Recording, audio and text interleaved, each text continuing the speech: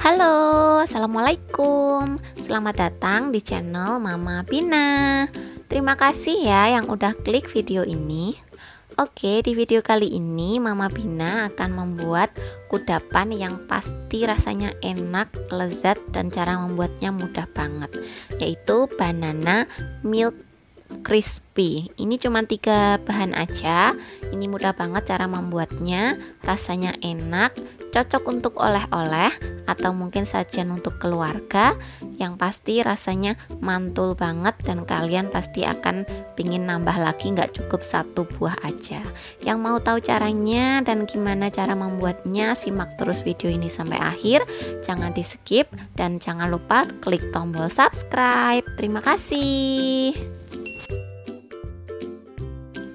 Pertama-tama aku akan menumis 5 buah pisang. Di sini aku pakai pisang kepok menggunakan 1 sendok makan margarin. Ini kita tumis sampai warnanya kecoklatan. Jika satu sisinya sudah coklat, bisa kita balik-balik sesuai dengan tingkat kecoklatannya ya. Nah, aku seperti ini. Jadi dia lebih karamel, nanti agar dia baunya lebih enak dan juga pisangnya lebih lembut juga. Setelah itu, kita sisihkan dahulu, biarkan dia dingin. Nah, setelah pisangnya dingin, di sini aku akan membelah pisangnya menjadi dua bagian seperti ini.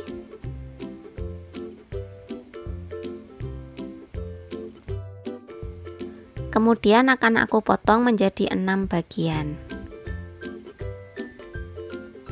Setelah itu kita sisihkan dahulu ya.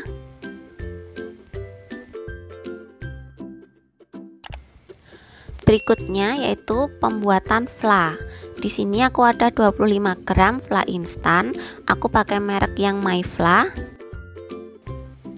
25 gram gula pasir. 150 ml susu cair. 38 gram kental manis atau setara dengan satu saset dan yang terakhir satu butir kuning telur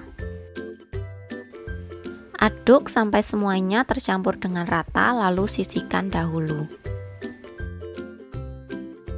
dan berikutnya yaitu ada puff pastry instan atau bisa puff pastry homemade yang untuk resepnya yang homemade bisa cek di deskripsi box ya.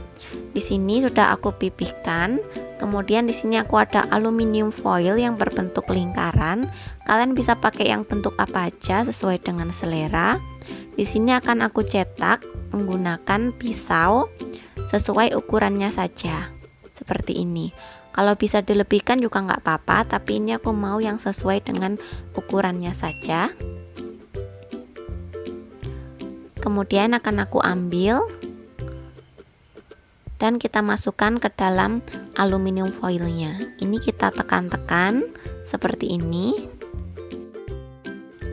Rapikan bagian pinggirannya dan lakukan sampai semua cetakannya habis atau si uh, puff pastry-nya habis. Nah, jika sudah, isi puff pastry-nya menggunakan potongan pisangnya sesuai selera. Di sini aku mengisinya tiga buah tiga buah ya. Kita sesuaikan dengan kapasitasnya. Berikutnya, tuang fla yang sudah kita buat tadi sampai dia penuh menutupi pisangnya. Seperti ini.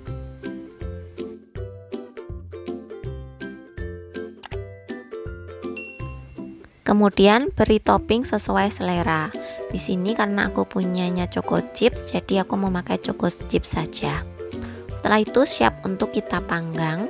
Panggang di suhu 175 sampai 180 derajat selama kurang lebih 20 atau sampai 30 menit atau sesuai dengan oven masing-masing. Nah, dan ini ya hasilnya. Dia kelihatan cantik banget. Warnanya menggoda golden brown seperti ini.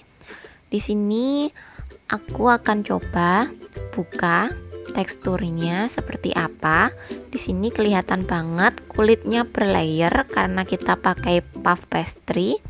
Nah, belakangnya seperti ini, dia nggak gosong. Kemudian akan aku coba buka. Di sini crispy ya kulitnya, tapi dalamnya dia lumer dan juga legit. Seperti ini.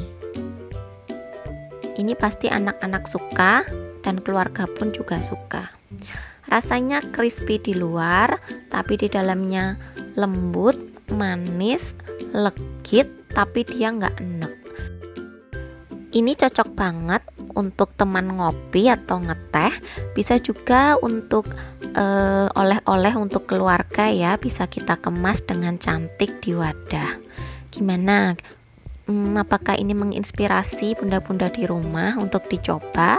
Jika kalian merasa video ini bagus dan bermanfaat, bisa kalian share di media sosial kalian dan jangan lupa di subscribe. Terima kasih sebelumnya.